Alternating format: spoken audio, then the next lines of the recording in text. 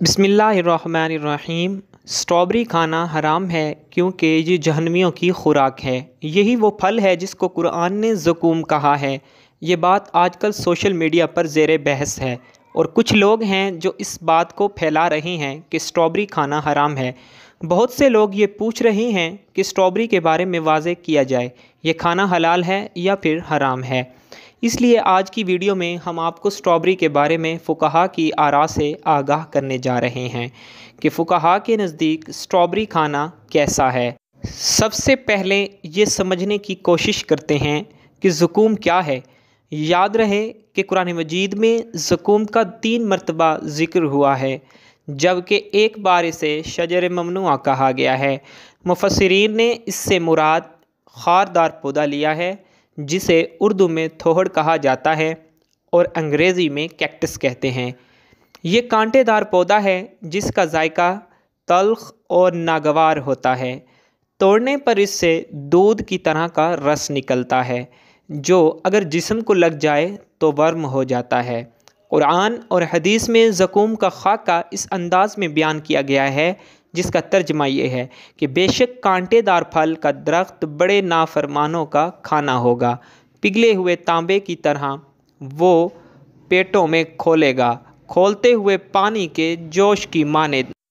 हज़रत अब्दुल्ला बिन अब्बास रज़ी अल्लाह तु से रिवायत है कि रसूल करीम सल्लल्लाहु अलैहि वसल्लम ने सुर आल इमरान की ये आयत पढ़ी, जिसका तर्जमा ये है ए ईमान वालों अल्लाह से डरा करो, जैसे उससे डरने का हक है।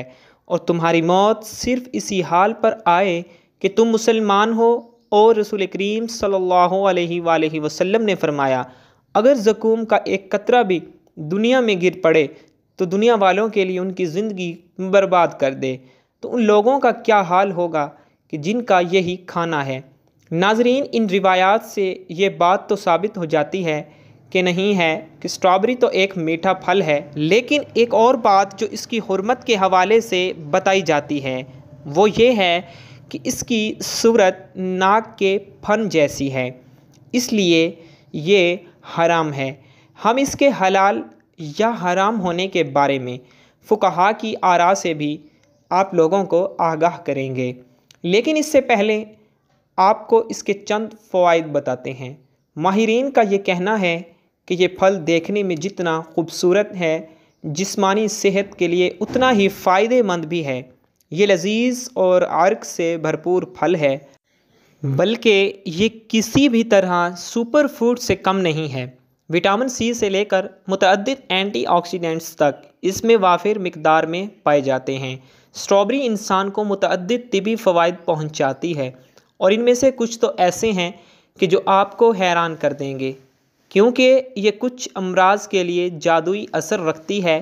तिबी माहरीन के मुताबिक स्ट्रॉबेरी विटामिन सी के हसूल का बेहतरीन ज़रिया है। इंसानी जिसम इस विटामिन को बनाने की सलाहियत नहीं रखता और इसीलिए इसे गज़ाई शक्ल में हासिल करना बहुत अहमियत रखता है। विटामिन सी जिस्मानी दिफाई निज़ाम को मज़बूत और ताकतवर करता है। कैलिफ़ोर्निया यूनिवर्सिटी की एक तहकीक के मुताबिक, अगर चंद हफ्तों तक स्ट्रॉबेरी को रोज़ाना कुछ मकदार में इस्तेमाल किया जाए तो इसमें मौजूद एंटीऑक्सीडेंट्स की ताकत खून का हिस्सा बन जाती है।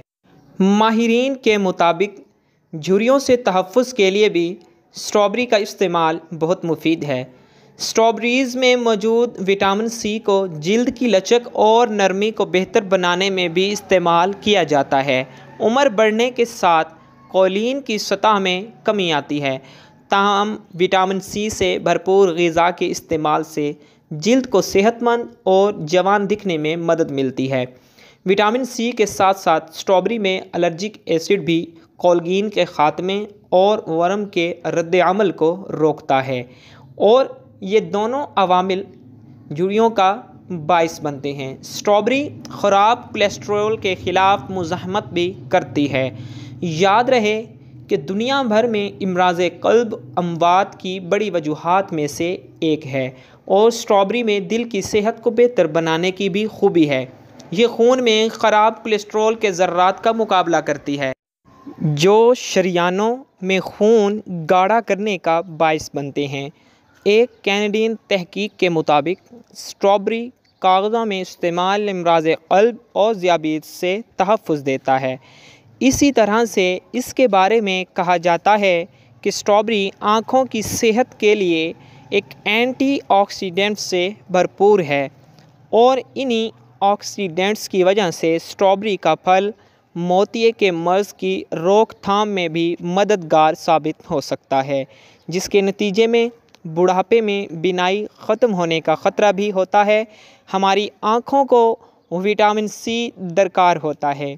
ताकि सूरज की अल्ट्रावायलेट शुआओं के असरात से बचा जा सके। तो नाजरीन, आपको ये सुनकर हैरानगी होगी कि स्ट्रॉबेरी कैंसर के ख़िलाफ़ भी मुफीद पाई गई है। विटामिन सी ऐसा जुज़ है जो कैंसर की रोकथाम के लिए मददगार साबित होता है। जिसम के सेहतमंद दिफाई निज़ाम की बदौलत इमराज से दिफा भी मज़बूत होता है।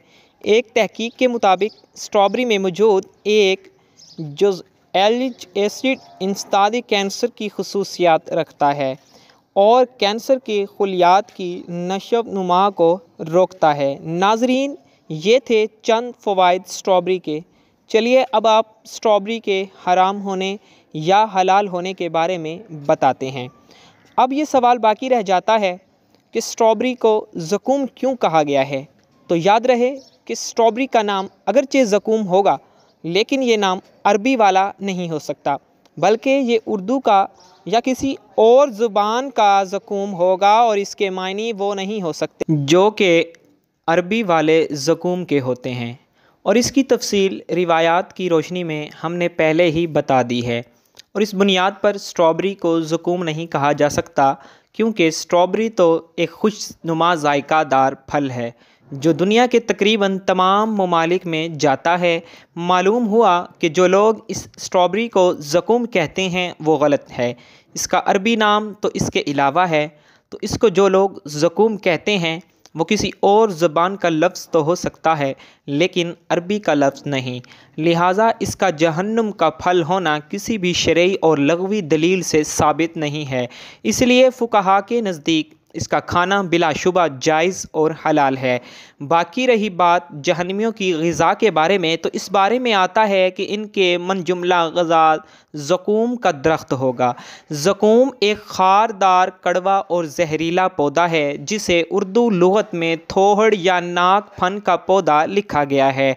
याद रहे कि ज़कूम और स्ट्रॉबेरी दोनों नाम सूरत जायके में बिल्कुल मुख्तलिफ़ और अलग अलग हैं। स्ट्रॉबेरी को ज़कूम करार देना दुरुस्त नहीं है। अगर ज़कूम की मज़ीद छानबीन की जाए तो उर्दी, उर्दू लगत में ज़कूम के मानी मुख्तलिफ़ मिलते हैं, जिनमें से चंद ये हैं। एक किस्म का खारदार पौधा, एक दरख्त जिसका फल दोस्तियों को खाने को मिलेगा। थोहड़ का पौधा जो खारदार और कड़वा और जहरीला पौधा होता है दोजक का एक दरख्त जिससे दोजकी अपनी खुराक हासिल करेंगे। जहरीली और महलिक गज़ा, नाक, फनी। याद रहे कि ये पौधा डंठलदार है और खारदार है। एक और बात ये भी आपको बताते चलें कि थोहड़, जिसका फल कड़वा भी होता है और इसका नाम ज़कूम भी है, लेकिन इसके बावजूद भी इस फल के हराम होने की भी कोई दलील मौजूद नहीं है। तो स्ट्रॉबेरी जो कि मीठा और मज़ेदार फल है तो इसकी कोई दलील भी कैसे हो सकती है?